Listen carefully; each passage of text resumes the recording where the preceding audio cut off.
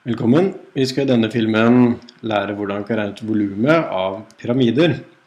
Fremgangsmåten her er veldig lik måten vi regner ut volumet av et parallellpiped på, som er utspent av, tre vektorer. Um, disse pyramidene vi skal regne ut uh, volumet av, de er også utspent av tre vektorer. Denne er vektor P-vektor her. Så kan vi ta vektoren Q-vektor slik så har vi en vektor som vi kaller for R-vektor der. Disse tre vektorene de mm, kan eh, vi tenke oss utspenner en pyramide. Og den pyramiden den får vi hvis vi lager linjer mellom pils, altså tuppene på vektorene. Så her har vi en pyramide med, hvor grunnflaten er trekanten utspent av P-vektor og Q-vektor. Og tuppen av pyramiden er jo da ved tuppen av R-vektor. Tilsvarende så kan vi ha en pyramide som ser litt annerledes ut, men også er utspent av de tre samme vektorene. P-vektor, Q-vektor og R-vektor. Men her er da grunnflaten en parallellogram, slik. Så jeg flytter egentlig bare p-vektor opp hit og q-vektor bort dit. Og igjen så er tuppen av pyramiden tuppen på r-vektor. Så hvis jeg lager da linjer ned til alle hjørnene i firkanten her, sånn, så har jeg en annen type pyramide med firkantet grunnflate. Det som er likt for dem, er at volymet volumet av alle disse her, det er en tredjedel ganget med grunnflaten ganget med, med høyden. Og da husker vi kanskje at uh, høyden her, det er jo gitt ved Altså høyden er avstanden fra grunnflaten og opp til tuppen er sånn. Og den, uh, hva skal jeg si, retningen på på denne H, hvis vi tenker oss at det er en vektor, altså den er parallell med kryssproduktet mellom P-vektor og Q-vektor. Så den, den, står altså normalt på planet utspent av P-vektor og Q-vektor. Høyden der sånn. Og den kan vi regne ut. Ehm, denne H den får vi hvis vi tar lengden av R-vektor og ganger med kosinus til vinkelen mellom H og R-vektor. Der har vi teta. Og tilsvarende har vi her sånn. Ja, så dette var H. Eh, grunnflatene her, eh, det er jo arealet av eh, bunnen på pyramiden. Den vil være litt forskjellig avhengig om eh, den er en trekant eller en firkant. Og da husker vi kanskje at eh, grunnflata til eh, altså arealet av en trekant utspent av to vektorer, den var en halv ganget med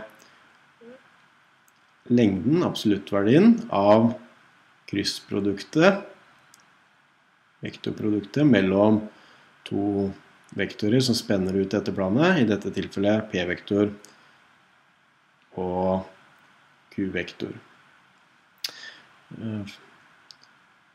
Her så har vi arealet av grunnflaten blir litt annerledes. Vi har bare ikke den faktoren en halv foran, så her er det bare vektorproduktet, kryssproduktet mellom p-vektor og q-vektor. Slik. Det er sånn. Lengden av det.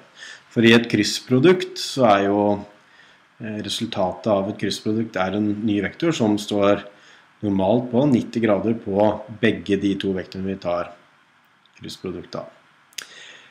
Det betyr at eh, volumet av en pyramide, hvis vi tar utgangspunkt i den eh, formelen her, og erstatter G med enten det vi har for en trekantet grunnflate eller en firkantet grunnflate, og H med det uttrykket her, så får vi at eh, volumet av en pyramide med trekantet grunnflate. Da tar vi disse tallene først. En halv ganget en tredjedel ganget lengden av P-vektor krysset med Q-vektor,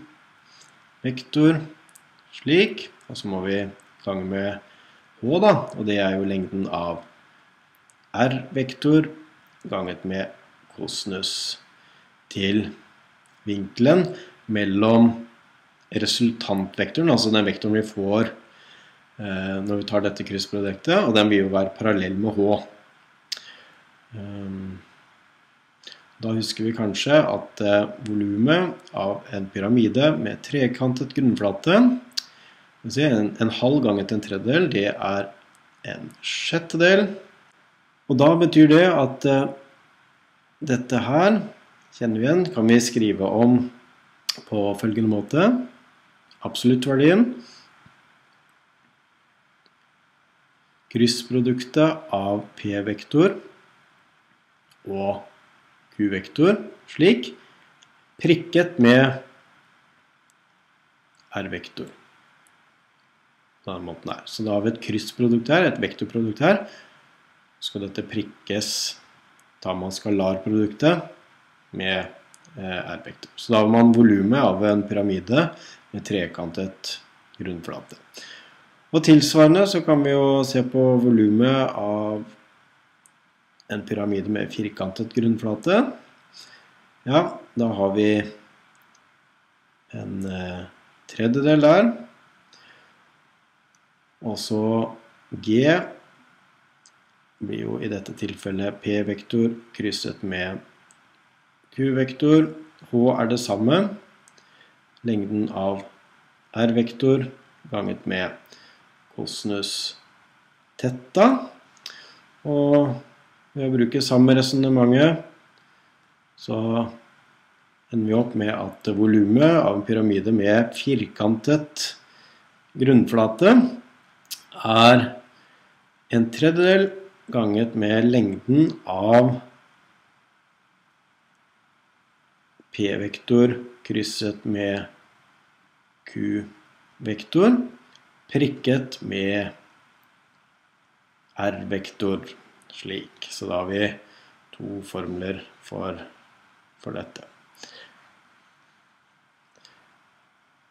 Slik.